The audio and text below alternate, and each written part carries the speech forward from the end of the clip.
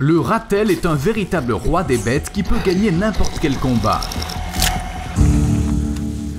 Les petits guépards, au contraire, sont l'un des animaux les plus vulnérables d'Afrique. Littéralement n'importe quel prédateur peut les tuer. Pendant longtemps, les guépards ont été jaloux des ratels, jusqu'à ce qu'un événement aléatoire leur permette de tromper tout le monde.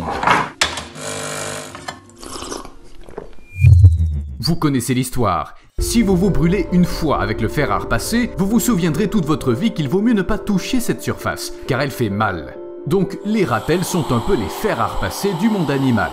Vous savez probablement de quoi ils sont capables et vous avez vu des vidéos où des ratels s'en prennent à vraiment tout le monde. Je ne serais pas surpris si un jour ils attaquaient un char et le mordaient parce que ce char fait trop de bruit. Mais les humains ne sont pas les seuls à savoir ce que les ratels peuvent faire. Personne ne veut se frotter à eux car ils sont trop coriaces. Les guépards le savent aussi bien que les autres. Alors, ils ont appris à se faire passer pour des ratels. Oui, Vraiment, si vous regardez attentivement les petits guépards, vous verrez que leur couleur n'est pas tout à fait normale. Très clair au-dessus, très sombre en dessous, ça vous rappelle pas quelque chose? Quoi de mieux pour se déguiser que le costume d'un animal dont tout le monde a peur? Personne n'osera attaquer votre petit s'il ressemble à un ratel. Faites que ce ne soit pas un ratel, faites que ce ne soit pas un ratel, que ce soit un guépard ou un serpent, mais pas un ratel, pas comme la dernière fois. Se faire passer pour un ratel est utile, même contre les lions, qui ne considèrent généralement pas les guépards comme de la nourriture. Attendez, pourquoi ils les chassent alors? Eh bien disons que les lions savent planifier leur avenir. Avec les guépards, ils occupent la même niche écologique, ce qui signifie qu'ils sont en concurrence pour la nourriture. S'il y a moins de guépards, les lions s'empareront de toutes les antilopes,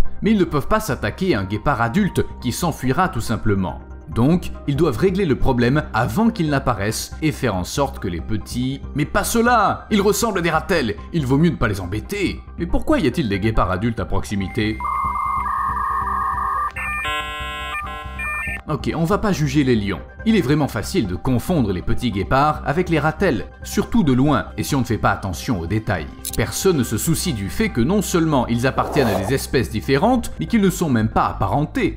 Avec ce niveau de mimétisme, ces différences deviennent négligeables. Prenons par exemple le fait qu'un ratel adulte atteint une longueur de 50 cm et que les guépards atteignent à peu près la même taille lorsqu'ils ont environ 4 mois. Quant au fait qu'ils ont des queues complètement différentes, Hé le lion, qu'est-ce que tu penses de ça? Bon, c'est ce que je pensais. Et les ratels? Enfin, ils ont bien dû remarquer que les bébés guépards les cosplayent régulièrement en dehors des Comic-Con. Franchement, je n'ai pas trouvé de données scientifiques, de recherches, ni même de témoignages. Même si des témoins oculaires ont vu des ratels attaquer des mâles et leur arracher eh bien la partie la plus précieuse de leur corps. Mais je pense que les ratels eux-mêmes peuvent se laisser prendre à ce déguisement, jusqu'à ce qu'ils s'approchent et reniflent. Oh Steve, salut Viens, on va se bagarrer contre tout le monde Hmm, celui-là n'a pas l'odeur de Steve.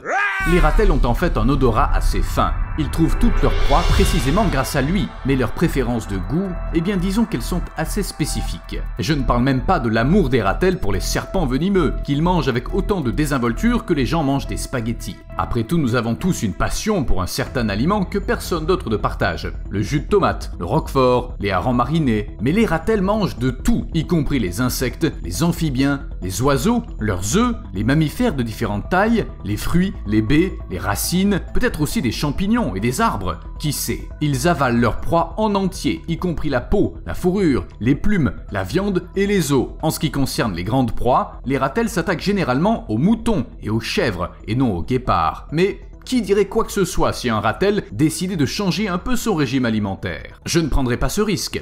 On dit que parfois les ratels ravagent même les cimetières humains. Je ne serais pas surpris que les ratels s'avèrent être une source d'inspiration pour les ghouls et autres monstres inventés par les gens. Peu importe que les ratels chassent habituellement les guépards ou non, je ne suis même pas sûr que le ratel ne combatte que les animaux qu'il est sur le point de manger, parce que parfois ses adversaires sont beaucoup trop gros. Dans le parc national d'Etosha, un ratel qui a attaqué une antilope à un point d'eau a été filmé. Il s'est juste approché et a attaqué. Je ne sais pas, peut-être que l'antilope marchait bruyamment pendant que le ratel dormait, l'a mal regardé ou un truc du genre. L'idée de combattre une créature qui fait dix fois votre taille ne semble pas très bonne. Regardez ses cornes.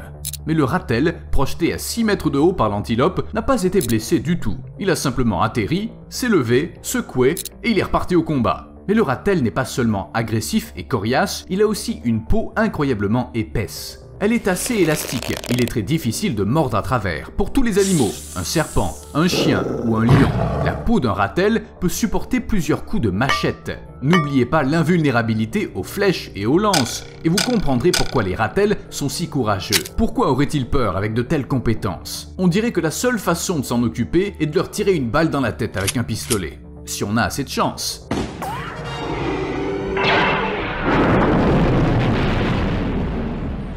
C'est tout ce que tu peux faire qui voudrait se battre avec un tel animal? C'est inutile. Il suffit d'aller voir les statistiques approximatives des combats et des défaites pour comprendre pourquoi les guépards ont choisi ce déguisement. Regardez par vous-même. Le ratel peut facilement battre le carcajou, celui qu'on appelle Wolverine en Amérique, et peut-être même celui joué par Hugh Jackman.